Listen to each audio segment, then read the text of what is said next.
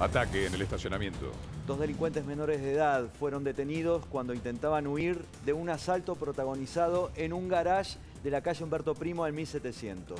Una llamada al 911 advirtió de la situación a la policía que logró atraparlos. Dos cómplices huyeron en un 208 que terminó chocando contra un poste. Yo sentí este, tres tiros, entonces me asomé y vi que corrían para acá. Aparentemente eh, entraron cuatro ladrones eh, sé que uno detuvieron porque estaba acá en el piso.